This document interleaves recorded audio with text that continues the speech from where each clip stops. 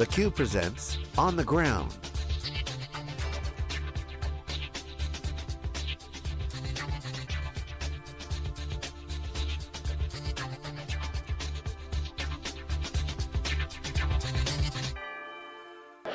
I'm Lisa Martin with theCUBE, and we are on the ground at the Computer History Museum in Silicon Valley with the Association for Corporate Growth, or ACG. Tonight is the ACG's 12th annual Grow Awards, and we're fortunate to be joined now by one of the sponsors of the Grow Awards, Peaxy. Joining me is the head of product marketing and strategic business development, Satish Bhargava. Satish, welcome to theCUBE. Thank you very much, it's a pleasure to be here. Excellent, well we're excited to have you. So you have expertise in storage and cloud and software development. Talk to us about Peaxy's involvement with ACG. What makes uh, the ACG unique for Peaxy to be so involved with? Sure, so there's, the, there's really ideas and people. Uh, ACG is a forum where you have people from startups or very young companies, as well as uh, growth companies and established companies as well. So it's a, it's a really good forum to bring all these ideas, talk about the topics of the day, talk about interesting ideas for the future. And then the other thing, of course, is you meet people who potentially will be your partners, your investors, uh, potentially a source of talent for the company.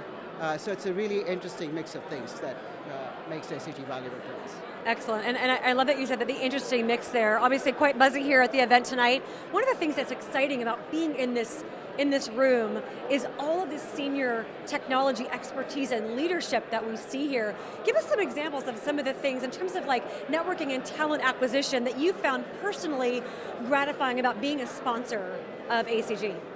Uh, yeah, sure. So it's, it's of course, it's a, it's a market where highly, highly uh, skilled people are very valued. This is a forum where people come. So just through the interaction and networking, uh, you, you run into people that know other people, and so there are examples like that.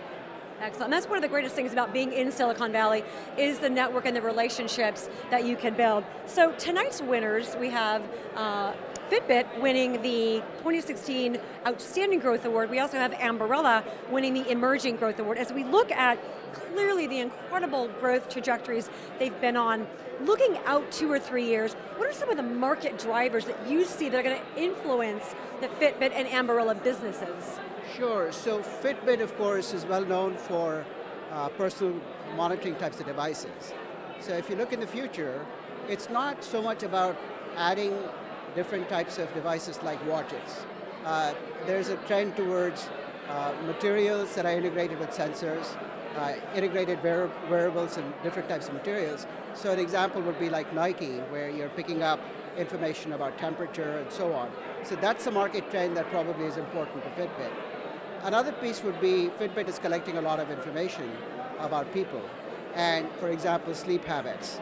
Uh, but I think importantly, so there's a lot of collection of big data, but at the same time, there's an opportunity probably to make sense of all of the data and provide guidance to the person who's using a Fitbit.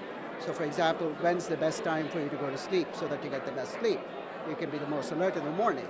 Um, another thing would be that as baby boomers age, they're very much interested in using these types of devices to better themselves and to lead healthier lives and longer lives.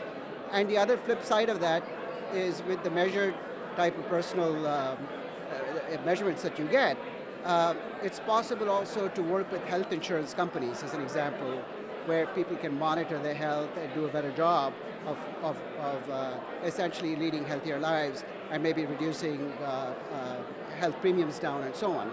Uh, so there's really maybe an emerging business opportunity other than the consumer piece.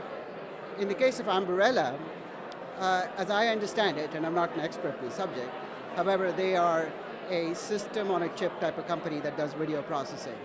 And their largest customer in the past has been GoPro, and of course GoPro has suffered some hiccups in the marketplace. Uh, so from the standpoint of Ambarella, of course, uh, the idea is how do you take this high density video and how do you apply it to many different use cases? And one of them might be the emergence of drones, uh, where you have uh, of course, it's, it's just starting out, although it's very much in the public domain right now. People are very interested in drones, but essentially that could be a market opportunity for them to try to target. Another would be if you look at the way television is broadcast, um, there, there's the classic television broadcasting system, but more and more people are, are using, especially younger people, are using streaming devices that might require other kinds of video processing. So that might be another market opportunity for them. And then a third one might be this whole augmented reality, virtual reality piece. They're very interesting types of applications. And the last one I'll say is that I just came from an IoT type of conference, Internet of Things. And if you look at what they do, they're capturing video. And so that might be part of the entire constellation of things that happen with IoT. So these are some of the drivers that I see. Excellent, thank you Satish. So tremendous amount of opportunity that we, we see here and we feel every day in Silicon Valley. Satish Bhargava, thank you so much for joining us tonight. We hope you have a wonderful evening. Thank you very much, Lisa. I appreciate the opportunity. Excellent, and with that said, I'm going to thank you for watching theCUBE. I'm your host, Lisa Martin, and we'll see you next time.